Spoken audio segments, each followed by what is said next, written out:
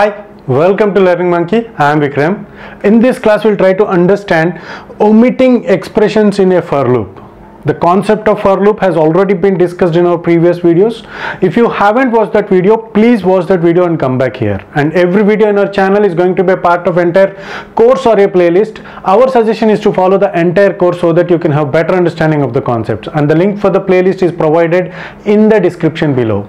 So in our previous example, in our previous class where we have discussed about the for loop, we have taken an example. In that example, we have used the for loop uh, we have used the for loop for counting uh, for printing the numbers from 1 to n so the for loop that has been used is uh, for i is equal to 1 i less than or equal to n i plus plus. So this is the construct that we have used in the for loop and we have given some printf statement as the loops body.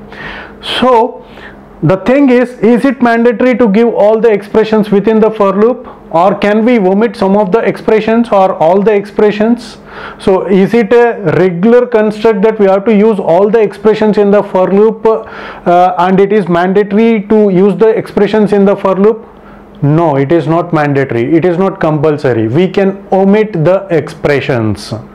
The expressions within the for loop can be omitted.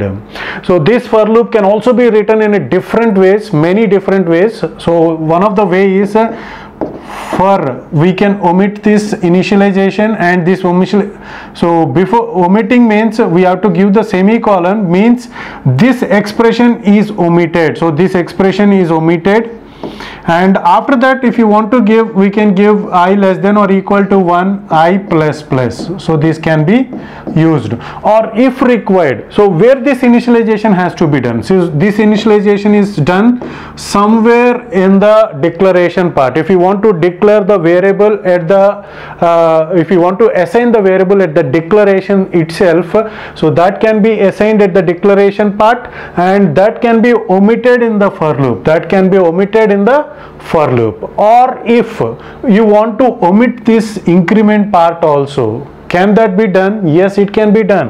For example if we if we want to omit initialization and also incrementation both these expressions we want to omit it. So how the expression how the for loop will be?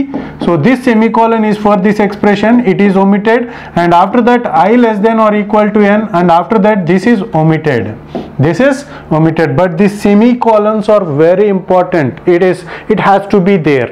It means that so uh, before that the expression before the semicolon the expression that is there has been omitted. So for that for the for loop to know that that has been omitted so uh, for that to be done we have to give the semicolon. So this is omitted this is omitted only the control expression is there. But where this uh, i plus plus has to be given so it is important. And where this initialization it is already already done in the declaration part. Somewhere uh, above the for loop the declaration part or uh, after the declaration part we can assign it.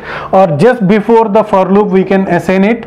And also so what about this incrementation part? So this incrementation part has to be provided within the body of the loop. Within the body of the loop the incrementation has to be done. So the good practice is to use at the end of of the at the end of all the statements of the for loop. If you closely observe if you closely observe this for loop this for loop has no difference with the while loop that we have used in the example.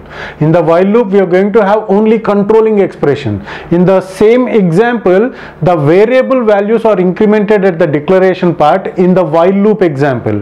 Where we have discussed about the while loop this same example has been discussed. In that example go back and just see that part of the video where we have uh, used the while loop program.